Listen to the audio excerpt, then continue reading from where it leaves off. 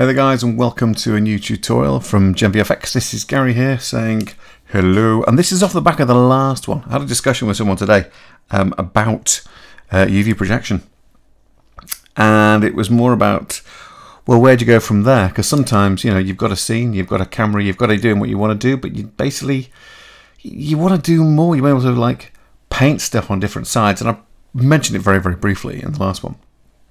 But obviously uh, this is basically the view looking down our camera. If we wanted to go wider with this, it would be a different kettle of fish.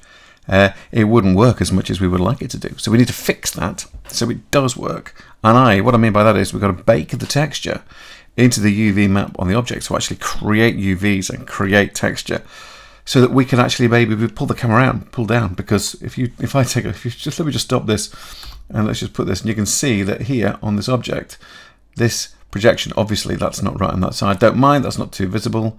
I can cope with that. I'm going around here like this. I'm coming around this side. But all of this here, there's nothing there. And you, in order to get that in there, you've got to paint that in. So let's discuss how you go about doing this. So basically, what we have to do is look at our object. And if we get into our shading menu here, let's just get rid of this timeline. We don't need that, but we do need this. So let's come here and look at our shader. Well, what we've got is we have our image, which has come, by the way, from Unsplash. It's uh, pitched by Grant Ritchie, and it's of a tower block. Very, very nice. Again, Unsplash, great. This guy, um, his full name is, and let me take a look. His full name is, ah, there we go. If I can lift this up, you should be able to see this one second. There you go. Grant Ritchie. Thank you, Grant. Really nice of you. And also thank you Unsplash. Again, wonderful. So the first thing we have to do is create UVs on this particular object. So what I'm going to do is go to the UV editor and at the moment we can just see an image. But as I say, there's no UVs. Now you can see there's obviously a bunch of polys on there, which are quite useful. Let's get to object mode. And I'll also very quickly put on wireframe. Why not? So we can see that's what we've got to work with. So I'm going to go to edit mode right now. I'm going to go at 3 and then press A to select all of our polygons. And you can see there's kind of an unwrap there already, but it's not really conducive to what I particularly want. So I'm going to basically split this up into, into units. Now, first things first, I'm going to basically select some of these uh, uh, select some of these edges to make them as seams. So I'm going to press Alt and click on that one, and I'm going to press Alt and Shift and click on a few more.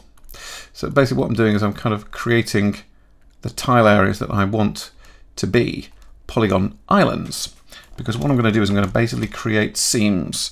So if I just do this and this and this and this and this, those two objects aren't in fact connected, uh, but that doesn't matter. It's a nice way of doing things.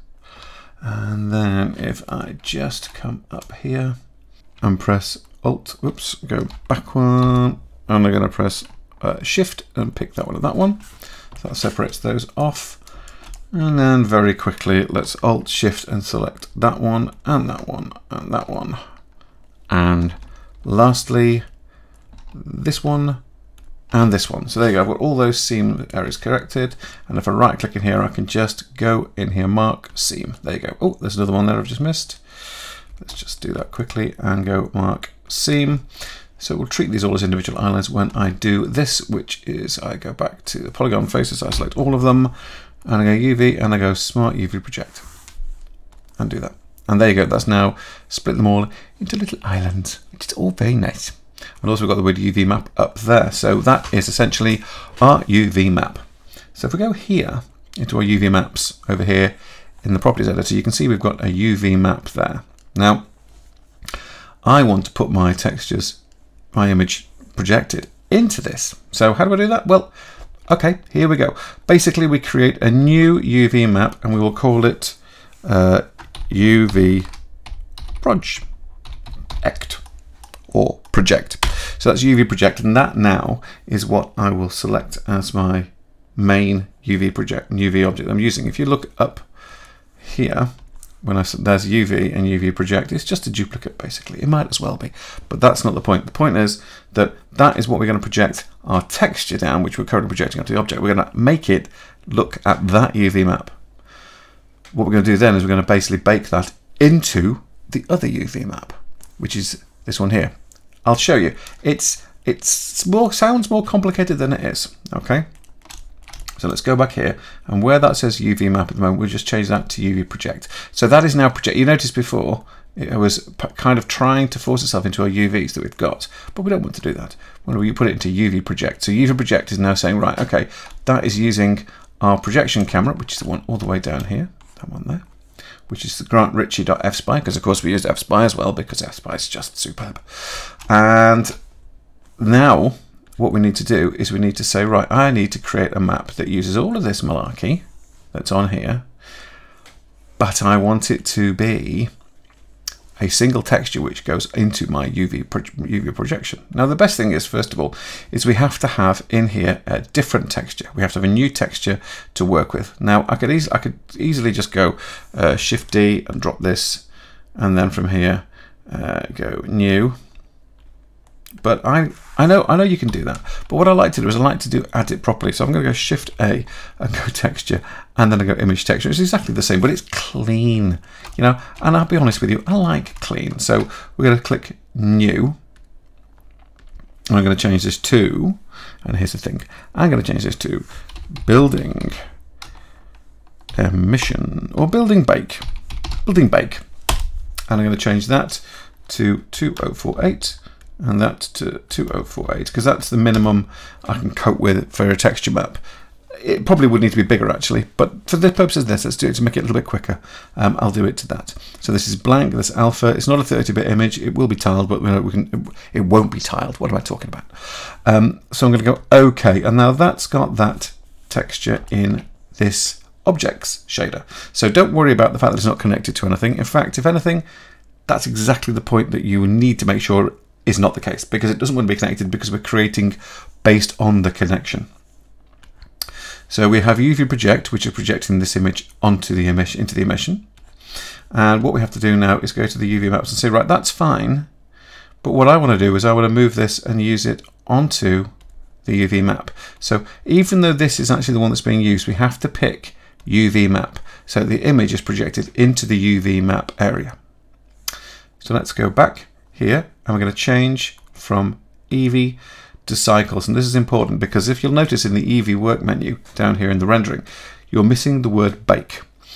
Baking you cannot bake a texture in Eevee but you can bake it in cycles. So now we do that and you'll see the word bake has appeared. So I'm going to click on bake and it says there's a load of stuff down here but what we're interested in right now is the bake type. Now combined means if you've got a an object which has got all these beautiful colours of specular and, and it's got normal maps in there and all this sort of stuff, combined will give you the finished look of that based on the renderer, but it will map it onto the UV workspace. Of course, that's not what we want. We want to pick just the texture that's going into the emission. So this is the shader that's here on this object, and this is the this is basically the end result for it. So we go here and we change that to emit and it changes a few things around.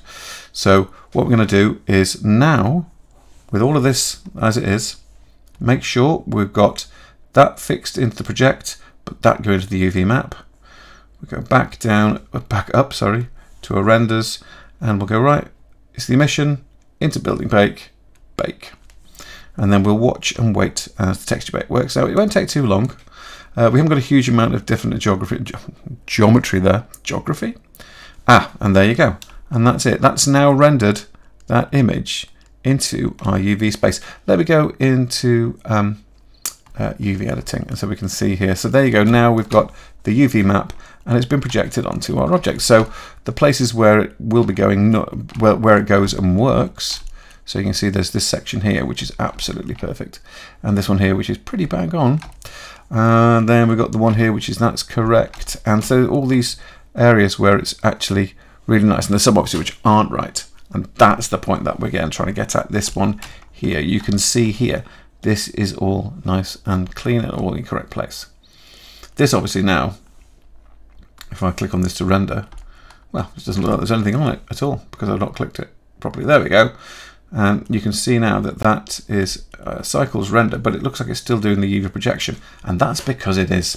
So what we need to do is, because we've now gotten that sorted, first thing to do is save this as, uh, let's put a UV bake, um, let's call this texture make. There we go, and save that. And now we're going to go back to our shading view and I'm going to pop that into rendered so you can see what it looks like. And I'm going to go here and this building bake. Now this is actually sitting currently inside of Blender. Now if you want to, you can do uh, the external data and automatically pack things into the blend, which is great. You don't have to do that. You don't have to do that at all. What you can do instead is you can say, right, well, let's just, let's save this image so I can see it here. So I'll go to the hit and the burger and go image, save as, and they're going to point it into here, into the UV bake. And I'm just going to go building bake. And I'm going to put it underscore building bake. I'm going to put emission because essentially it is for the emission. So let's take the vector out of this and the color of this into the emission and let's get rid of that. I don't want that now. Now, the reason why that suddenly looks wrong is because what it's still doing, if we go here, is using the UV project camera and it's using the UV project lack of texture space, texture vertices. Um, so what we need to do is just, uh, well, basically we just uh, turn this off, we delete it. And that now is the texture that is actually here. And just to prove that, if I just, I can rotate this. No, not, not in that angle, so let's do this, let's scale it. And you can see if I scale it, it's moving it around. It's just, it's just, just simply a UV texture on the top there, which means that we can go into this, and I'll do it very quickly here in Texture Paint. Let me just save this as the end result. So let's call texture, and let's just call it texture. Uh, let's just call it end, end blend. Let's just delete all that. End blend, and let's say it's going into the emission. So if I just go into, let's just go into the paint texture here, so you can see what I'm doing. So you get just to prove to prove a point. So if I get these both visible, and let's have that texture paint, and I'll make the radius a little bit smaller. If I do that, there you go. It's gone on there. Do that. Where's that gone? That's gone over there. Do that. That's gone there. And we can now work out where everything is in relation to each other, and we can fix them. Just as Coldplay say, we will try to fix you. There you go. So that's that's how you do it, and then you can take this into Photoshop or Krita or into GIMP or into any other paint package because other paint packages do exist, and you can then use that to actually clone down your building from here. The clone tool in Blender is good, but I'll be honest with you, I would recommend doing this in a, in a paint package. And don't forget, if you're worried about where all your texture vertices go, just think about it in terms of the fact that you can say, right, well, I can see that, but I can't see the actual lines. You've got this saved. If you go UV, and then we go, where are you? I think I'll do it this way. I think I've got to select everything, and then go, that's it, and then go uh, UV, export UV layout. There you go the rest of this stuff below. That's normally at the bottom of the list, but I have, um, I think it's Magic UV. I'm always forgetting what it's called. No, that one. I have Magic UV in here, which is very, very useful. And obviously the TexTools, which are also available. Uh, there's some really, really useful stuff, actually. I know a few people go, oh, I don't like the textures in, don't like doing all this stuff in Blender. But I can honestly say they are better than I thought they were. And I I still love the texture map, the texture mapping stuff, uh, the UV mapping in Maya, but this is pretty damn tooty. Anyway, I'm going to leave you with that. Thank you very much for tuning in. As I say, it's quite a short one, uh, but uh, it's it's really good to know. It's really good to know. It's not one of those things that's. The point that my friend pointed out to me was, well, that's definitely not obvious, and he's absolutely right. It's not obvious. So, but at least now you can do that. Anyway, I hope that's good, and I'll speak to you all soon. Take care, guys. Bye. Oh, and don't forget to subscribe. See you later.